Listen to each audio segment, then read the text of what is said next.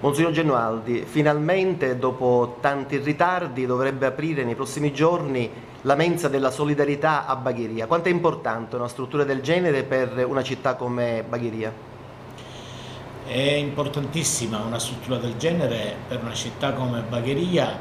eh, se consideriamo soprattutto eh, che proprio in questi centri eh, così popolati eh, ci sono vaste sacche di povertà, povertà anche materiale, di gente che non riesce a poter mangiare serenamente ogni giorno e che ha bisogno pertanto dell'accoglienza di una comunità che fa servizio e che pertanto amorevolmente cucina dei pasti e li serve eh, per nutrire il corpo ma nutrire soprattutto la fraternità, eh, la fiducia della gente, la speranza della gente. Quindi non si tratta soltanto di avere un pasto caldo, ma di avere anche una persona che ti possa accogliere e che ti possa dare una parola di conforto.